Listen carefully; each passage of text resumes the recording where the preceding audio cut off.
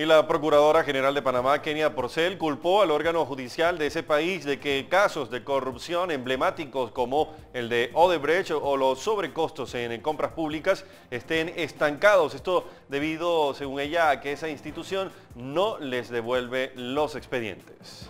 Que si es sobre el caso Odebrecht, el Ministerio Público va a cumplir cuatro meses de esperar que el caso sea devuelto para poder continuar la investigación. ¿Devuelto por el órgano judicial? Devuelto por el órgano judicial, es cierto.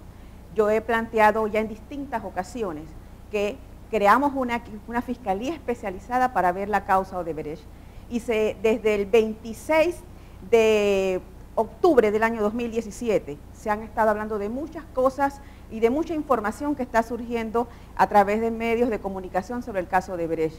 Y se pregunta, ¿qué está haciendo el Ministerio Público? ¿Por qué el Ministerio Público no investigando? Es que no estamos investigando por una realidad, no tenemos la investigación. La investigación está ante una solicitud de adecuación de tiempo para poder continuar. En la medida en que esa investigación retorne, el Ministerio Público continuará investigando. Por tanto, no es que estamos tapando nada, ni es que estamos desvirtuando ningún hecho que no queramos transmitir al país.